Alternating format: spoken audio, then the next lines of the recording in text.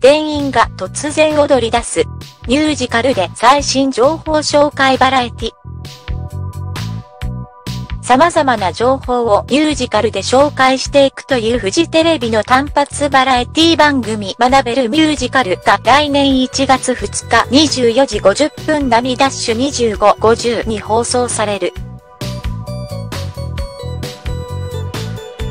この番組は視聴者が今知りたい情報をレ・ミゼラブル、美女と野獣、ライオンキングなど有名ミュージカルでメインキャストを演じている実力派の役者たちが歌って踊って伝えるというもの。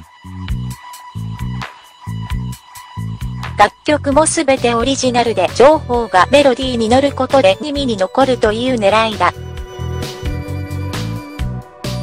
ミュージカルパートは東方所属のエース演出家、上田はじめたけしが担当する。今回取り上げるのは東京ミッドタウン日比谷と回転寿司売上ナンバー1スシロー。東京ミッドタウン日比谷では毎日行列ができるパンやチョコとワインを楽しめるカフェバー6店舗が集まるニューヨークスタイルのフードホール絶品の串揚げ屋など最新グルメを実際の店舗で包みレミ、杉原先人、井上聖からアナウンサーがリポートしていると質問をした店員が突然歌い出し、ここから一大ミュージカルが始まる。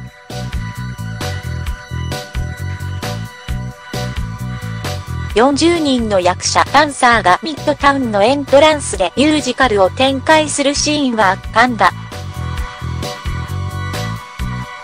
一方のスシローでは回転寿司人気ナンバー1の理由、企業努力の裏側を実際の店舗でミュージカル形式で紹介。